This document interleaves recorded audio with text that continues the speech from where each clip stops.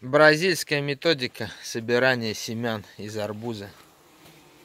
С одной бочки выходит примерно 4 килограмма.